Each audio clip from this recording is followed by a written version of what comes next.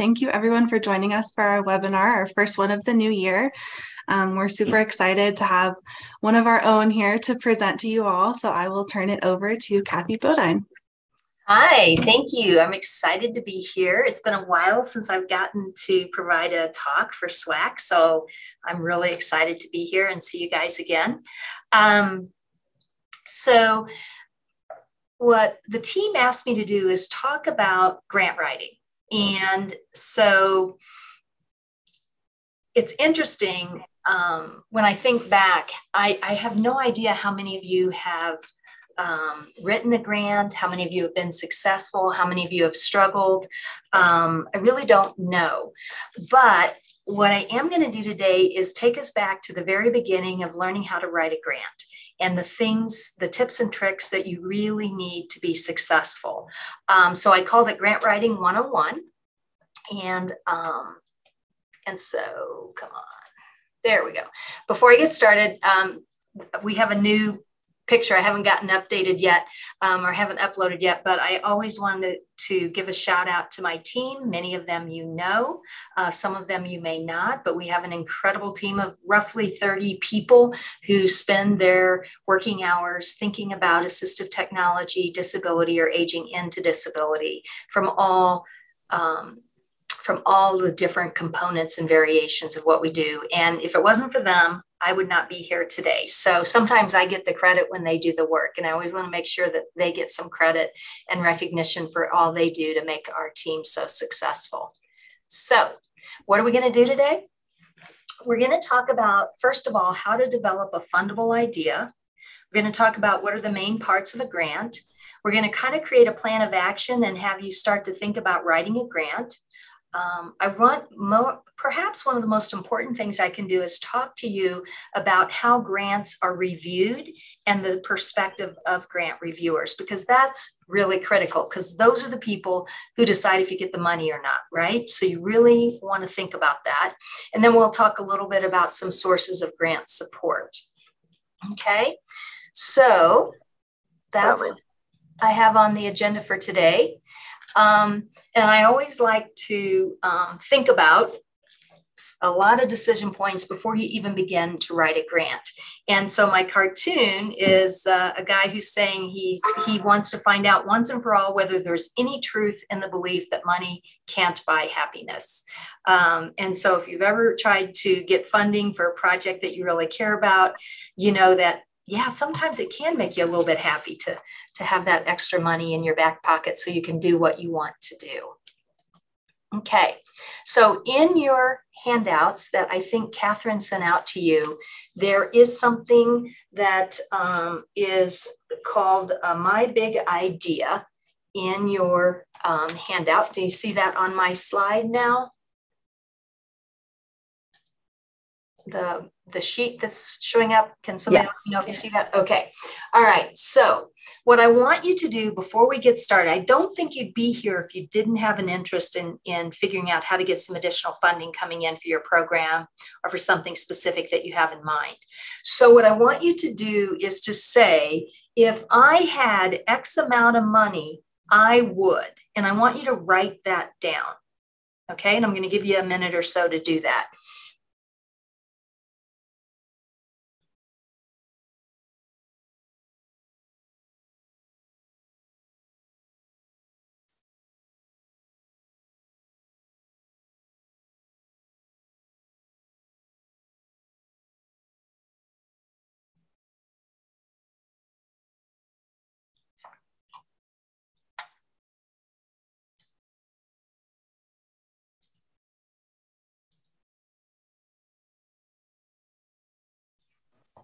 Okay. So has everybody figured out? Why do you think, just out of curiosity, and if somebody wants to hop in with this answer, why do you think I would ask you to put in a dollar amount up front and then you what you would do? Why do you think I would ask that? Anybody have an idea?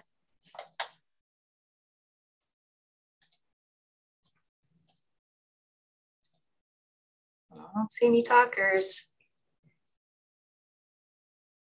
There's a screen scare. No idea. Okay. Well, let me tell you why I would do that.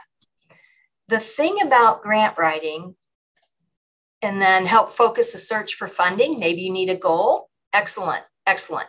The reason I wanted you to do that is because I personally can't tell you how many thousands of meetings I've been in in my career where we've sat around and said, wow, I'd really like to do X.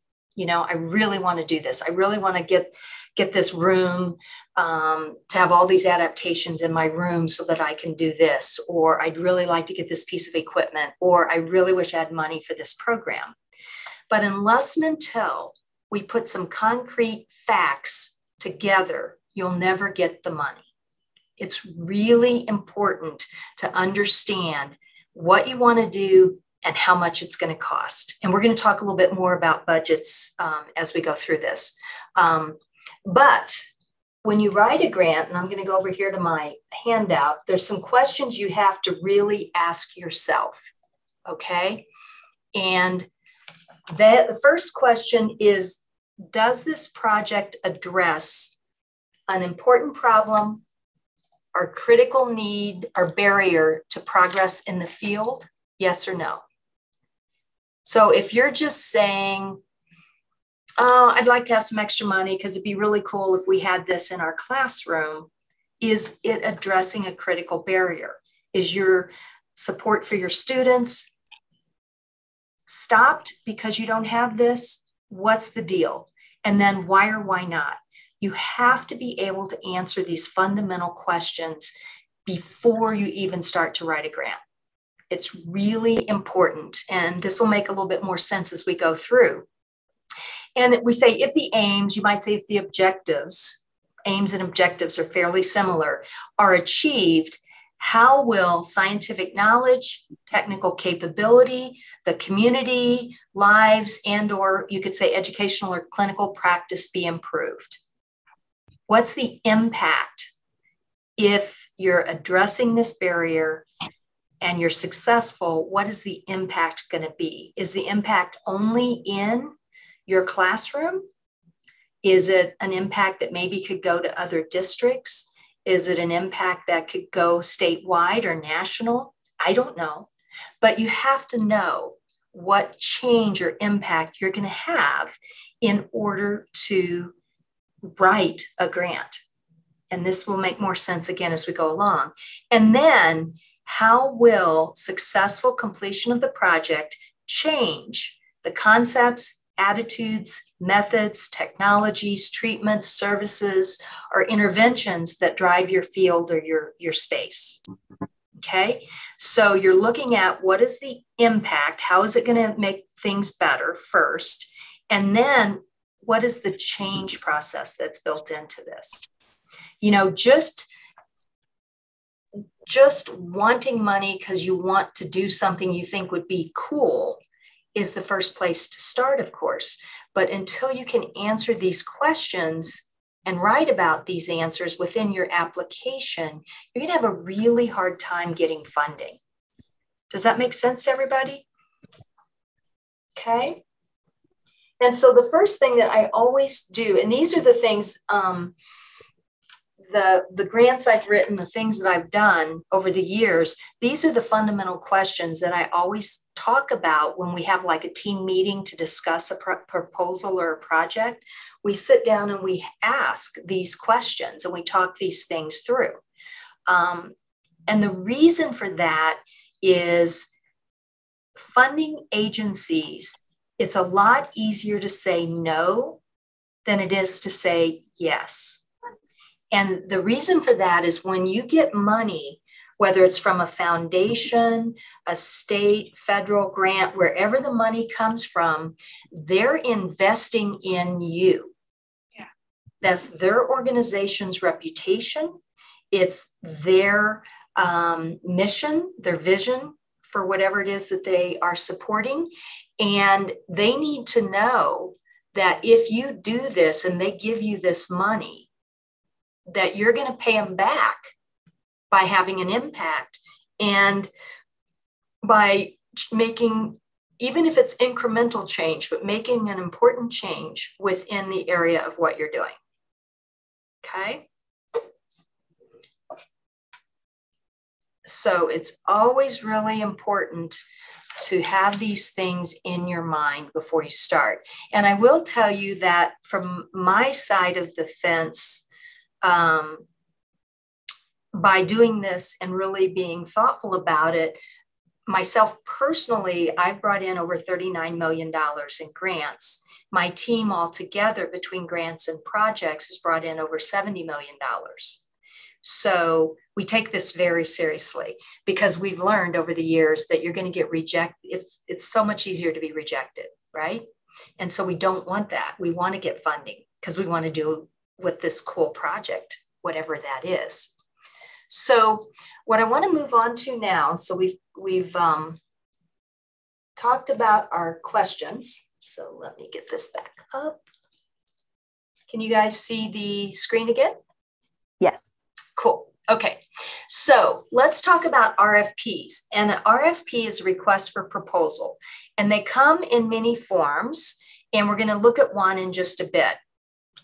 And the if you're not anal retentive, get somebody on the writing team that is, because the very first thing you need to do is read the request for proposals carefully very very carefully. And what i do when i get it when i decide that i want to look at a request for proposals i literally pull it up on my screen and i get the you know the the yellow highlighter and i go through that rfp line by line by line and i highlight all of the requirements or anything within that request for proposal that is going to help me write a better grant and I make sure that I'm addressing their concerns. So, um, uh, like the Paralyzed Veterans uh, Association, it's a foundation that gives out like $50,000, $100,000 grants. And right away, Paralyzed Veterans Association, right? So you're dealing with veterans, you're dealing with paralysis, and does my project fit their mission and vision? Because if it doesn't, you're not going to get the money. That's just the bottom line. And so you want to make sure that there's this good fit for you. And we'll talk about resources as we get closer to the end.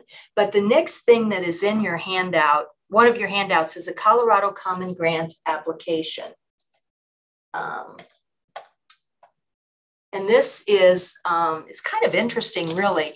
But a number of years ago, um, the a number of Colorado foundations got together because they all had different RFPs. And so anybody applying for money from them had to learn each individual agency's RFP. So they said, what if we had a common grant application that people could use and learn to use and it could be accepted at a variety of foundations. And so that's still in play today um, for a number of foundations in Colorado. So it's something you might look at. Do they accept the common grant application? And if they do, then you already have it in your hand. But it, what I like about it is it starts out with a checklist. And these checklists, if the if a grant RFP does not have a checklist, I make one right away. Because if you don't check every single box of every single document they're asking for, they can arbitrarily reject your proposal. And I will give you a great example. In back many, many years ago, when I first came to CU, I had this boss whose name shall remain anonymous. And I was getting ready to submit a grant. And at the time, my husband had a, a, work party that we needed to go to. And this person told me they would take my grant. This was back when you mailed them in and they had to be at the post office before midnight. She promised to mail my grant and get it in on time, and I walked away. She got it to the post office at 12:03 a.m. because there's a downtown Denver post office that was open till midnight, and my entire proposal got rejected and it was for like 1.6 million dollars. It didn't even get reviewed because i didn't get it in on time. Never forgotten that right? Um, so if you miss anything they're asking you for you will not be reviewed and your grant will not be even thought about. So all that work you've done is for naught. So what you want to do is look at what is on um, what is within the RFP. And in this case, as I said, they've given you a checklist. So before you submit it, the very last thing you do is make sure um, you've got everything in. Okay. So the first thing you do is verify and check if they accept the Colorado Common Grant application and if there's any modifications they've made. So one foundation may have said, oh, we only see, we only serve populations of people who are between the ages of 18 and 54 or something like that. Whatever it is, you want to know so that you've got modifications, or maybe they ask for an additional document. You want to make sure you check. And then you want to make sure you've complied with any of those unique application requirements. And then many grants, not all, but many require a cover letter. And the cover letter is pretty much Dear Foundation, uh, attached, you will find a submission for this uh, proposal with the following team, and we feel really highly qualified to do this. You know, whatever uh, information you want to put in that, um, and you make sure you give a brief description of how the request fits with the mission and their priorities. Okay, so if you're submitting something to the Paralyzed Veterans Association, the uh, request fits because the population of interest are paralyzed veterans, and this is about a wheelchair thing. So that's really important to mobility is really important for their mission, um, et cetera, et cetera. And this will improve the lives, the quality of life, or whatever it is that their mission says um, because you want to make sure if you're they'll boot your proposal if you don't have those things in there so it's very important that you've really done these things and then there is a two page template for a summary sheet form we can see that in a bit and then the narrative and the narrative is the most important part of any grant at the end of the day, because that's where you're outlining your program or your project, whatever it is that you want to do. So, for example, one of the things that you want to look for is formatting. Um, and I'll give a good example the Administration on Community Living, the National Institute on Disability, Independent Living, and Rehabilitation Research, or NIDILRR. We submit a fair number of grants there to that organization. They're the only funding agency that requires that you double space and have one inch margins in your document. So if you send in a single spaced project, they kick it out. And one at one time for several years, even your tables had to be double spaced. And so it made the tables really awkward. And, you know, it was hard to understand the tables because of that formatting, but that was a requirement. If you didn't do that, they did not review your grant. So formatting is a big deal. Um, so you want to make sure you understand what they say. And then the next limit, and we're going to go through these things again um, in some of our slides, but the next thing you look at is um, the page limits. If you go over by even one line, they do not have to read your grant. Okay. So the reason I'm pointing all of this out is because these are avoidable mistakes, correct? These are things that if you're paying attention, are not going to stop your proposal from being reviewed you don't pay attention, it will stop your proposal from being reviewed. So it's very important. So in this one, they have two kinds of grants. There's a general operating uh, request, and that tends to be like Meals on Wheels, where they need money to provide meals, for example. And then program or project request, which would be most likely what most of us do. Um, and you see there's a five page limit, and you're supposed to answer questions one through four, five, six, whatever you know so it tells you exactly what to do and then here are the narrative questions so if you're doing one through four you got to have your organizational background your goals your programs etc so i'm not going to beat a dead horse, horse with this but i wanted you to really get a chance to um, hear how important this stuff is as we're talking about it and then there's the lovely attachments there are attachments that they will or will not allow and attachments usually include your resumes your um, budgets, you know, all of those types of things. And each granting agency has their own list of allowable attachments. Do not attach anything that they don't ask for because that can again get your grant thrown out. Um, and so you want to be very careful and thoughtful to make sure you get all of the different types of attachments that they're asking for. And then there are um, if there are um, organiz- you don't have to worry about this for the fiscal agent if you're working within a school system. And then this is their summary sheet form.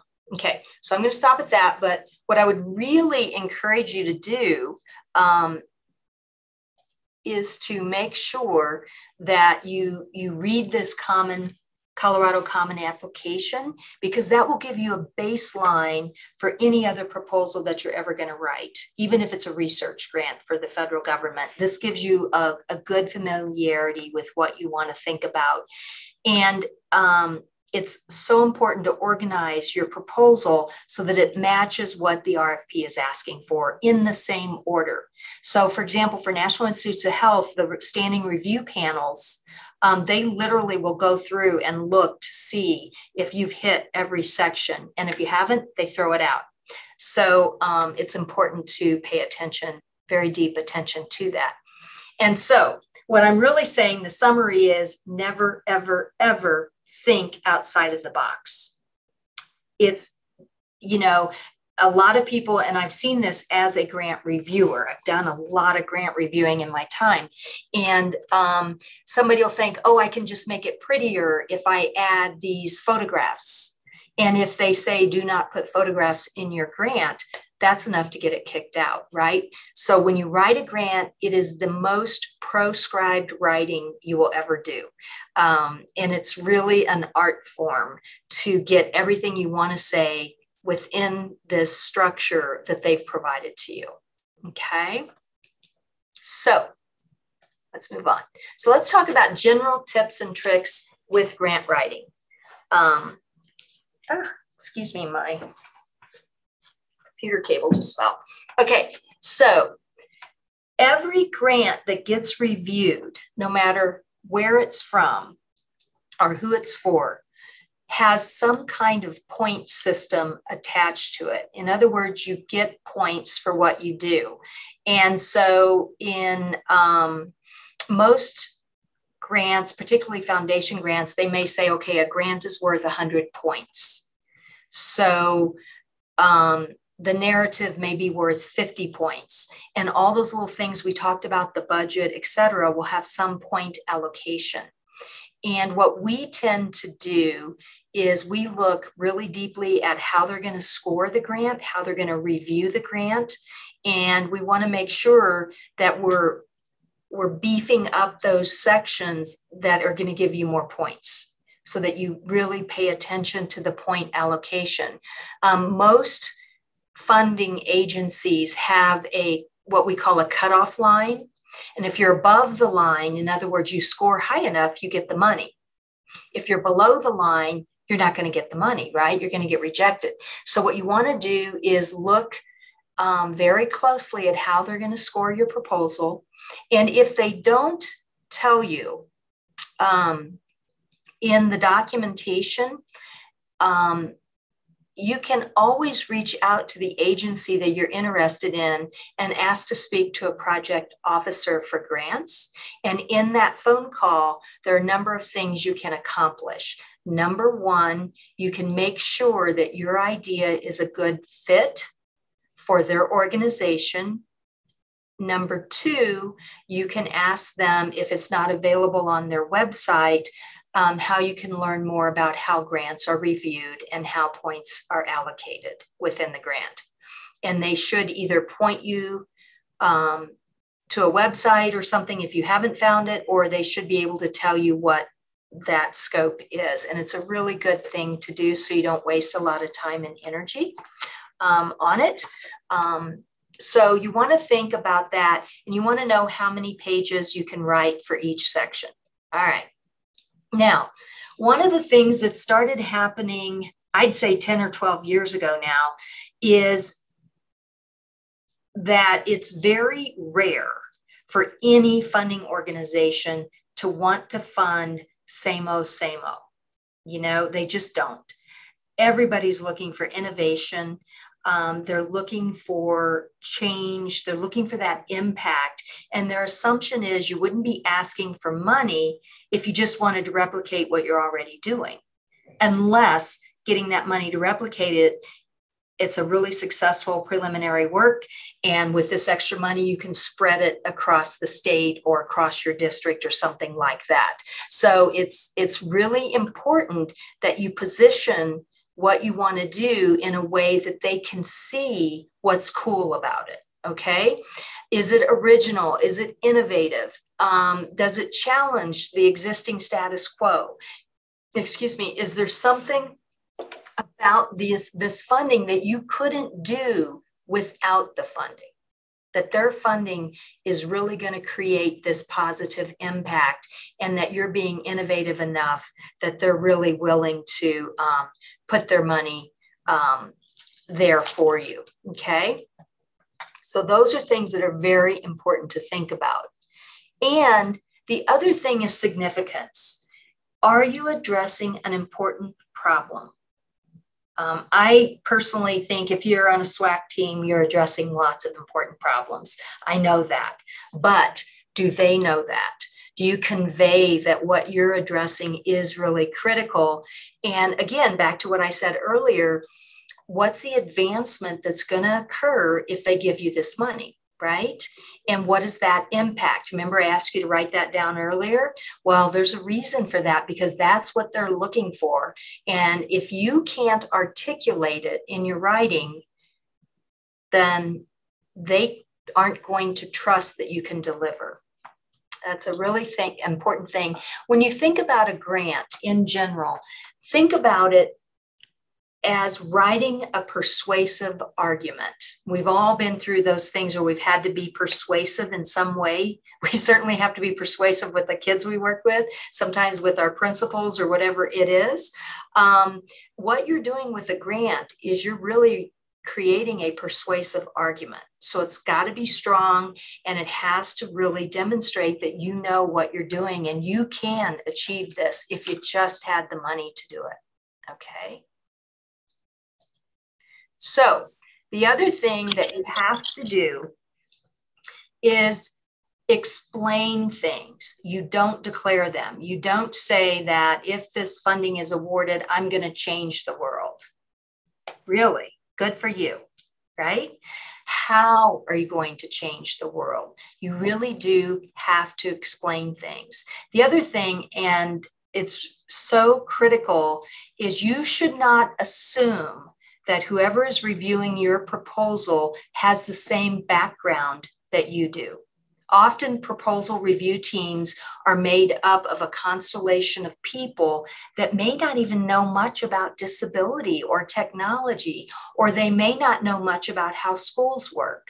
It just depends on where you're applying, who you're going to get for a review. And um, so you can't assume that they understand what you're talking about if you say early intervention unless it's an early intervention funding organization they may there may be people on the review panel that don't know that that's a discipline. And it's a really important discipline and this is what it does. So you have to explain things. And then don't don't use jargon don't use acronyms and don't use buzzwords. The simpler the words are that you use in a proposal, the, you know, don't go for these polysyllabic words. You know, think about writing as simply and as clearly as you possibly can so that you're explaining exactly what you're going to do, how you're going to do it, and why it matters. And those are really key things.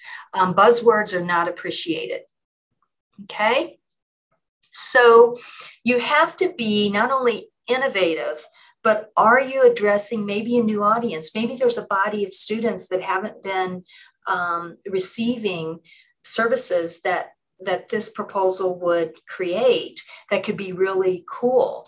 Is it something a new way new thing to try? And you have to be passionate but at the same time you have to be realistic. They appreciate, grant reviewers and funding agencies appreciate it when you say, this is what we can do, and this is where we are, and this is how this funding will take us to this next level. And this is what is very realistic because they trust me. If you promise the world, they know you're not going to be able to deliver it um, because you can't. So you have to be really clean and clear on what it is that you can actually do um, with these funding uh, elements. So be clear, be specific, be direct, and make it easy for others to give you what you want. Don't put up barriers to your reviewers. Does that make sense? I hope. Um, you really want to make it easy for them to see and visualize what it is you're going to do, how you're going to do it, why it's important, and just answer their questions that are in the RFP. Okay. So I once did not interview someone because they it was a doctor, a physician, and he sent me a resume that said he saw comma patients. And I figured if he couldn't get his resume right, I wouldn't want him around any of our clients, right? So simple things, grammar, spelling, and typos. And it's always a good thing to have someone read it. And we're going to talk a lot about this as we go forward who should be helping you review your grant before you submit it. Um, but bottom line is you need somebody that's like a grammar, um, a grammar brain to review and read your document. You want to make sure all of those formatting rules are followed. You want to make sure your your T's are crossed, your I's are dotted. Um, you really want all of that to be perfect because you lose points and confidence if you can't spell correctly in, or have your grammar correct, they don't trust that you can have other things correct. It's a very subliminal thing, but it's very powerful um, and something to think about. So solicit someone else because you've looked at it for 50, 60 hours at this point, maybe it's 100 hours. Your brain is not seeing what's on the paper anymore. So you want to make sure you have someone that has those grammar and editing skills. Um, I also want to talk about plagiarism. Um, you know that you don't accept plagiarism from your students, right? Grant reviewers, especially well qualified grant reviewers, can pick up at a moment's notice if you've cut and pasted something from another document, because that's their expertise, right?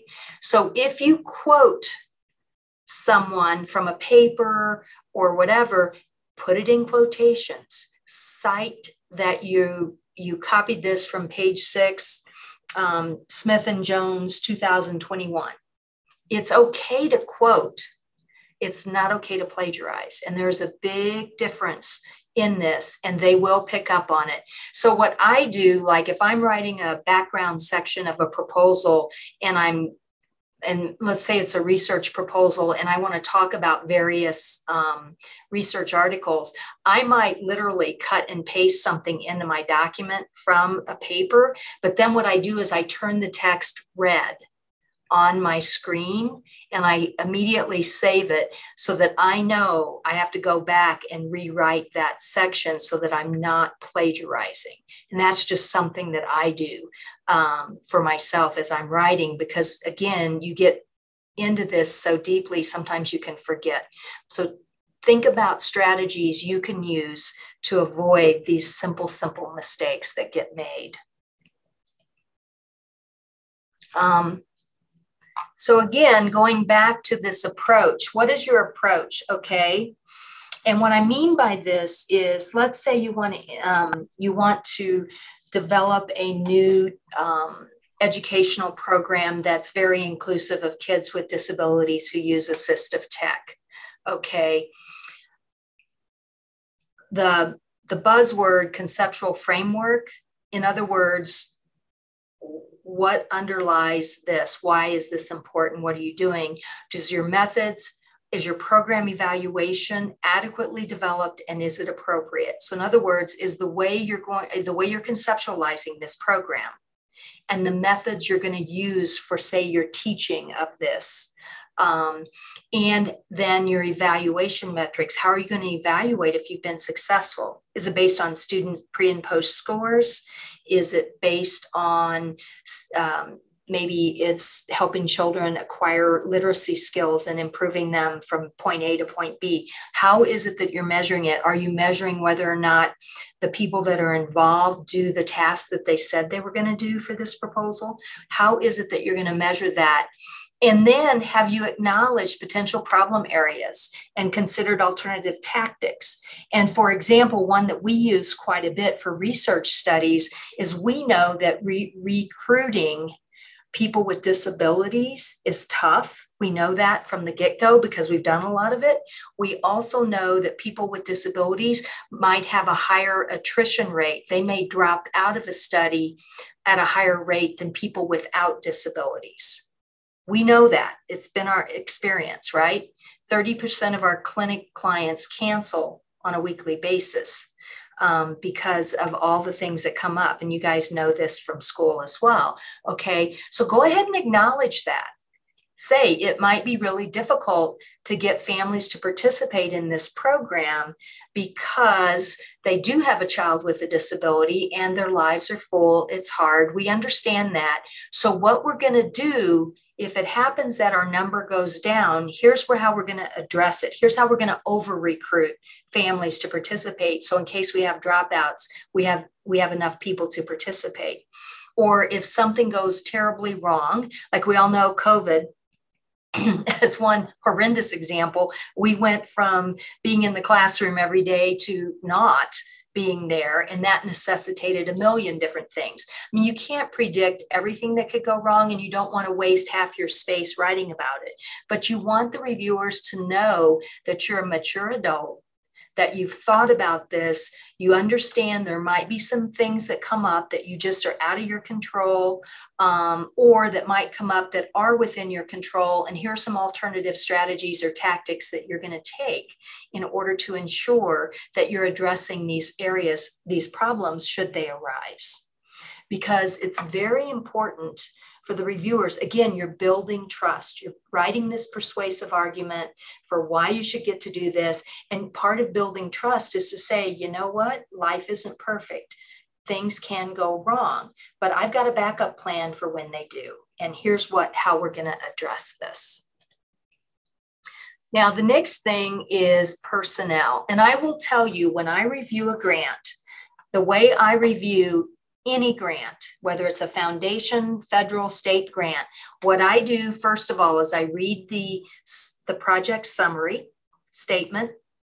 Then I look at their budget and I want to see how much money is being asked for, how much is being allocated to people. And then I look at the, the resumes or the bio sketches or the curriculum vitas, whatever it's called within that agency. I look at the personnel.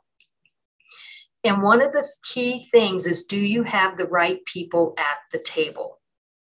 And so that means when you're applying for a proposal where you're going to be paying somebody some part of somebody's salary, or you're going to have them involved in some way, if they're key personnel to this proposal, do they have the right training? Are they well suited to carry out this work? And that is and if if you have the wrong people at the table you're not going to get funded. So you want to make sure you're addressing all of these little concerns. And is the work that you're proposing is it appropriate to the experience level of the project director and the people that are involved? So you know you wouldn't say you're going to split an atom with people that have not don't have PhDs in physics and a whole bunch of other credentials behind their name, right? So you're not going to bring in a bunch of regular education teachers to do special education assistive technology. You might want a regular education teacher on your team, and that might be very instrumental. But at the same time, you want to make sure you have those other disciplines at the table as well, so that you're putting forward a very coherent and cohesive team for your proposal so that all of these little things really do make a difference. And then um, the environment, that is so important. Where is this going to take place, right? Um, And does that contribute to the probability of success? And I'll give you an example right now, which, by the way, we're recruiting young kids, two to four, with neuromotor disorders. Um, upper limb impairment would be nice if you know anybody. But for example, one of my PhD students is building a robot that's a therapeutic augmentation tool to help augment what therapists do in the clinic when they go home. And so she's working at um, Child Development and rather than asking families to bring their kids to the medical school campus, she's out in the classroom because that environment is much more conducive for these kids participating, right? And because it has the accessibility built in and it's really a useful collaborative arrangement. And then the other thing is evidence of institutional support. What does that mean? That means that you're, whether it's a Maybe it's a district superintendent. Maybe it is your principal. Maybe it is your special ed um, director. Whoever it is, they they're at that institute where you work, and they write typically write a letter or you write something in the grant that can be validated or verified by the funder that the institution supports you submitting this proposal and they're going to help you. Institutional support can be matching funds. It can be release time. It can be access to special tools or building spaces, whatever it is. You know, having them write a nice letter that, yeah, we think Jeannie's a wonderful teacher and she could, she's going to do a great job. That is not institutional support. Institutional support is something very concrete we are going to give her early release on Thursdays for four hours so that she can work on this project every week. We will provide meeting space. We will provide refreshments for families who come to this um, meeting or event that we're hosting for families. Whatever it is that you can concretely show that your institution, whether it's your building, your department, whatever it is, that they're going to put something on the table too. That's really invaluable. And that really tells the reviewers, again, building confidence in your project that you've got the backup of your team of your leads, whoever your leads are. Um, and so that is um, a super important thing to do. Okay, and then let's talk about the sections of a grant. Every grant you write you're going to have to do some kind of summary or abstract of your project. Um, this is usually what the public sees. Like if you go to a, a foundation grant website or any grant website and they show projects that have been funded, this is what gets published on a website or this is what gets sent out to the public. So you always, always, always write your abstract or your summary after you've finished writing the proposal. You don't do that first, you do that last, because then you can really summarize what your proposal is all about. Okay. And then finally, I've given you all these rules like, you know, do this, do this, do this. You really have to convey excitement about your proposal. You know, you really want to say what we're doing is unique, it's different, it's cool, it's awesome. Okay. And so be excited about your proposal, but again, be realistic. So it's a fine line in there that you want to convey. And so I want to talk, I've been talking a lot about the review process, the things that are really pertinent today. And one of the first big things is diversity, equity, and inclusion. Um, that is a very important thing to think about. And you can pretty much figure in today's world that applications are going to be reviewed to see if you're including genders, minorities, any subgroup as appropriate for the goals of the project. Okay, a good example is if you were doing a study with people with Fragile X syndrome or a project with kids with Fragile X syndrome. Well, it hits boys at like four to one ratio. There's more boys with Fragile X than girls you would want to put that in your proposal that you expect a preponderance of males, but you'll do your best to balance the genders uh, while you're doing this. And you also want to make sure that you're thinking about collaborators and personnel, and are you looking at diversity, equity, and inclusion there as well, if at all possible? That's um, something that is really being looked at and is important to consider in your proposal. Okay. The other thing, and I mentioned this a little bit, is the reasonableness of the proposed budget and duration in relation to the proposed project. And so to cut that cut to the chase, if you're applying for a project and you're applying for $20,000, what can you do for $20,000 realistically and in what time frame? You can't say you're going to save the world in 12 months with $20,000. You just can't. So you really have to be realistic about what you can do in that amount of time. And so that will be a key piece of your um, review. And then again, going back to what I already said, read the instructions. More grants get tossed out because people didn't pay attention to the instructions than for any other reason. It's really true. And again, never assume reviewers will know what you mean.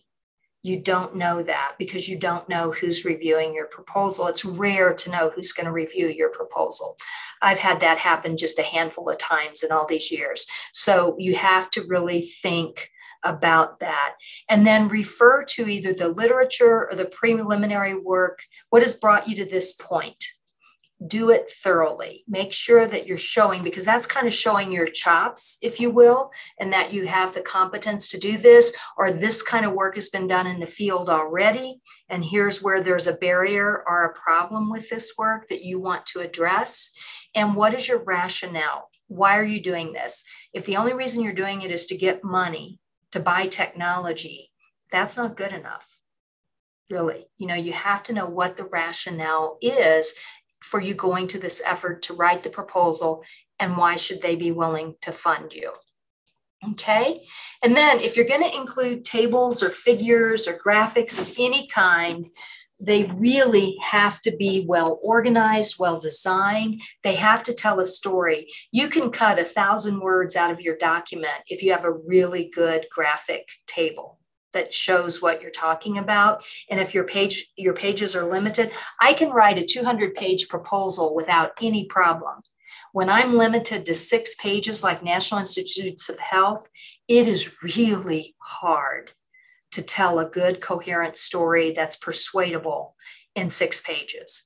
So that's where your tables and the other graphics you might choose to include can be really invaluable. If you're using a table or graphic that comes from somebody else, like from a paper you found, make sure you cite it correctly and that you give credit to the author who did the work, um, because that will be known. And then you have to be all organized. Your, your write up has to be very clear or lucid. Um, and then the thing that I do with every single proposal I write is I find what I call an ignorant reader. The definition of ignorant or ignorance is lacking knowledge. I find somebody who knows, usually my poor friends run from me at this stage, but I find people who know nothing about what I'm doing. And I ask them to read my proposal and then, in their own words, tell me what I'm saying I'm going to do. That is the absolute best check. Because if they can't explain to you what you've written and what it means you're going to do, then you can bet your reviewers are not going to understand it either. And that's a great check to figure out where you've got problems with your writing and what you need to to um, improve, and then take it back to them and say, "Does this make more sense?" Get that feedback because it's so important um, to help you really get that money. Okay. So let's talk about who might fund these big ideas you guys wrote down. There are a ton of people that will provide money to you. And I have to tell you, in the last four years, federal agencies like the National Institutes of Health, the National Science Foundation, they have started putting disability in their strategic plans and technology for disability.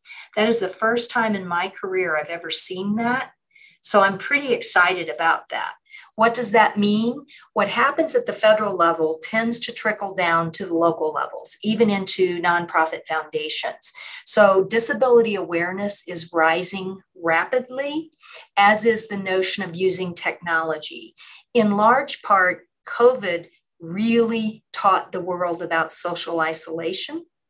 And now people are starting to understand how people with who are not included in mainstream society how detrimental that is Likewise, with the aging, the baby boomers are getting old, and all of a sudden we don't have enough money to take care of older adults. So, how are we going to do it? Well, technology. And so, all of that stuff, it's like this huge confluence has come together. And suddenly, the work that we do, all of us do, is much more important than it was five or 10 years ago on, on a fundable level. So, it's good timing for you guys to learn how to write proposals. Um, foundations in Colorado, there's something called the Colorado Grant Watch. That um, it's a website that you guys can can look up, and on that website it lists all kinds of funding agencies that are here in Colorado. Now, the other thing we have on our, our website for our Tech Act program, we have something called AT Funder, um, and that's pretty much for individual clients. But if you go through, you can look through and find funding sources for assistive technology. Um, but that also might tell you where to look for foundations that might be interested in funding or where money's coming from in Colorado. So it can be kind of helpful that way too. At the state and um, at the state level, um, pay attention to what's going on in our state legislature. Oftentimes, there's funding that's set aside. For example, Governor Polis set aside money to increase preschools. Um, because these preschools are now getting lots and lots of kids with disabilities, we receive funding to help train, do professional development with preschools around Colorado, as one example. So there can be money that's out there that maybe is designated for schools that might be helpful for you to look for and to figure out how to go after it. Um, there are also federal grants. You're not going to get a federal grant if you have a team of people that have never had any kind of funding. So the way to if you're if you're new to grant writing you might want to start out with some of these local small foundation grants um, we call them the animal clubs the elks the eagles the lions. Um, you know you might want to approach the rotary club or something like that in your local community and ask them do you ever give out small grants? Maybe $500 a thousand two thousand. It's always good to build um, you're on your success. You're not going to get a million dollar grant if you've never had a grant because it's just they're not going to trust that you can demonstrate you can handle it. But if you can show you started by getting some of these smaller grants and you've built your way up, that's when you start getting the big grants. So titrate yourself. Think about who you are, where you are, what you can do, and what your team can do, and then slowly begin to build up um, how you can get some of these um, these grants. Does that seem reasonable? Okay. I know our time is getting short. All right. So when you write a proposal, it's very important to leave enough time before the deadline. So, for example, we had a proposal that was due January 5th. We made our deadline December 30th so that we had a few days to go back and recheck that checklist I showed you earlier, to go back and reread the RFP and make sure we hadn't left anything out, to make sure we uploaded it correctly. If they had, you know, in our case, we had one that you had to upload it into their granting agency stuff. So always set your deadline at least one or two weeks before it's officially due so that you have the luxury of time to go back and make sure you haven't missed a beat on that. It's very, very important. And you never know when the computers or the you know xfinity is going to go out for the day um, how many if you we don't really make too many paper copies anymore. Sometimes you do, but if you have to have additional copies, if you have to get your boss to sign off on something, anything like that that you need, you want to make sure you've given yourself a window so that you can do that. I want to talk just briefly, and know we're almost out of time, about common pitfalls. Um, one of the things that you want to do when you, you remember at the very beginning, we were talking about your, your specific aims or your objectives. Make sure your objectives or your specific aims, depending on what they're called in your application, are in chronological order. You do step one before you do step through two, before you do step three. So make sure that you have all of that logically ordered. Because if you put your final thing first as your objective, they're not going to trust that you can do this. You want it chronologically ordered. And you can't assume that what you're proposing is going to work. And that goes back to what I said earlier about if there's a problem, what are you going to do? And how are you going to fix it? So you want to acknowledge that. And then the other thing that drives reviewers crazy is if your figures are too small, um, if something's out of order, or you duplicate the same sentence in your proposal in two different places, that drives reviewers nuts. Or if you've looked at something and you didn't describe it correctly, you've given the wrong interpretation, or just quite frankly, if all of these pieces and parts aren't feasible because they'll pick up on that so fast. So you really want to make sure that what you're proposing is feasible and doable. Okay. And don't be boring. Um, you know, when you're just, you know, blah, blah, blah, blah, again, generating that excitement. Should this project prove successful, we will be changing the lives of 15 kids or 100 kids or 3,000 kids or whatever it is in this way. We can't wait to get started. You know, you want to exude that confidence and excitement that you really want to do this project. You know, you're not just there for looks, you're there because you mean business.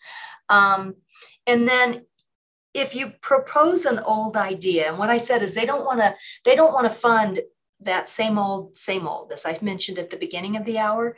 They want to see something new, even if it's a tweak on something that's been in existence for a while. It's very rare to just continually get funding to do something that's already been done. That's not what they're in business to do. So you want to make sure that you're not giving an old idea. And that means getting out there, getting online, going through the literature, going through websites, whatever it takes to find out who's doing this idea in what way that's already out there. And what are you doing that's new and different and cool? You really want to do that. And the other thing is if your approach isn't the state of the art, you know let's just say you say we need $8000 for copying because we're going to copy you know all these things. They don't really want to see that anymore. What they want to see is that this is paperless it's online it's cool it's accessible. We can do it this way. Does that make sense? So you want to be sure that what you're doing really is state of the art now just for grins if you guys were looking at these two documents which one would you want to read do you notice that the one on the right has white space? The, the lines are justified, and some you have to look at the formatting requirements. Some people say don't uh, justify the lines. But if you look at the paper on the right, it is so much easier to read than the paper on the left. That is a subtle, cool thing you can do within your proposal that predisposes reviewers to like you. It's a very subtle subliminal thing. And there's actually research on this stuff, right? That says you want to make sure that you do leave white space. Even though your space is limited, you want to make sure that you're giving the reviewers eyes and brain a rest and they're looking at something. If your paper is attractive, your project is more attractive. It's a silly little subliminal thing, but it's very powerful. So think about that as you're putting things together. Um, so yeah, you want the ugly one or the pretty one. You want to be pretty. Now, here's the thing. Turns out we don't always get funded. So if you are rejected, don't, well, maybe give yourself 24 hours to throw things, but then come back and you can always call the project officer for the competition that you were going after And you can very professionally and politely say, I understand we weren't funded, and I, I really value and appreciate and thank you for the feedback you gave us already. Um, I'm calling you because I really want to do better. I'd like to resubmit this proposal if that's possible, and I'd like to know what I can do to improve. Ask why you were rejected and ask in a very kind and professional way, and you'll be amazed at how much help you'll get if you choose to resubmit. You know the kind of information you can typically get from them it's really rare that they won't share with you what happened what went wrong okay? The other thing you can do for many foundations one of the best ways to learn how to write a grant is to volunteer to review grants. So if there's a local board in your community that you could maybe volunteer and ask to be a reviewer for their funding stream you will learn so much sitting in those review um, meetings. And I really do encourage you to consider that. And then here's the thing when you submit a grant, don't, you know, like I said, don't put all your eggs in one basket. Know that you're going to try, you may fail that first time, and sometimes we've failed more than once, but you always want to go back and continuously improve. It's that continuous quality improvement over and over and over again so that you can be prepared to rewrite. And trust me, I always go back. I wait after I submit a grant, usually a couple days afterwards. I go back and reread it. Invariably, I'm like, oh my God, why didn't I see this before? I could have written this so much better. I could have done this. I could have done that take those notes. If you're not funded, read the critiques carefully, address the reviewer's concerns, and resubmit because that is your best strategy. And I know we're right up to the hour. Um, so um, if anyone has any quick questions, I'm happy to try to answer them. And um, just again, kudos to my team. They're amazing. And um, uh, I really appreciate being here too. Yeah. All right. So I am looking at the chat box real quick. Yeah, Robin, good point. It does help to find a grant that is a good fit. That's the number one prerequisite to even trying. And then Krista says, um, if your grant is denied, is there any value in returning to that grant again to submit the same request at a different time, or is it likely to be denied every time? Should you only submit to a different funder?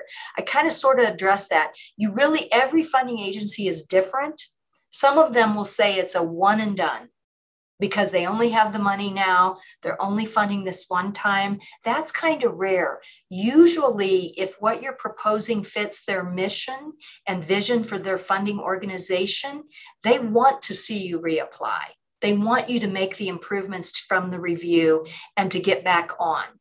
Sometimes you find out after, even though you've read the website, you think it's a good fit, you've had a conversation. Sometimes you get a review panel and they go right field or left field or whatever. And so, um, uh, and so sometimes you do need to choose a different funder, but it's for that reason. Um, if it's a good fit, then you want to try to go back to the same one if they encourage you to do so. And that's why those phone calls are so important. So, Aaron, um, is there a general length of time? Well, That's the thing. I had one grant that I found out 18 months after I submitted it, it was funded. I got a phone call out of the blue and they said, Congratulations, we're funding your grant. And I had no idea what they were talking about. It caught me so off guard usually you can read in the RFP. Sometimes they will tell you when grants awards will be announced. Sometimes they won't. And that's one of the questions it's fair to ask when you make your call to the project officer in advance. You can say it along the lines of So I see that December 15th is your deadline for the applications. Can you give me a ballpark idea of when you might be able to review these? And we'll get the word back one way or the other and they'll usually tell you. But I've gotten funded within 48 hours and I've waited as long as 18 months to find out. So it's real important to look at the RFP, see if it says, look on the website, and then if you want to have that as one of your questions for a project officer, that's a good thing to do. Okay, so I hope I've answered the questions that were in the chat. Um, I am certainly available. Um, oh, one more. Let's see what we have. Oh, thank you. Um, you're very welcome. Um, so if there are any other questions, concerns, or comments, um, please feel free to reach out. I know our, our team here is happy to get things to me if you don't know how to reach me directly, but I'm Cathy.Bodine at cuanschutz.edu. Um, and we'll do my best to uh, support you in any way that I can. Thank you so much, Cathy. Hopefully, we get to hear a lot of SWAAAC member grant success stories in the future. It's really great information. The last time I did this talk, two people got funded. Wow. And they emailed me later to tell me that they got funded because this is obviously it's pretty straightforward common sense but by paying attention to this and bringing it up to a level of importance two people did get funded so i was pretty excited about that awesome yeah no no pressure krista Awesome. Great. Well, thank you so much. Thanks everyone for coming. All right. Thank you.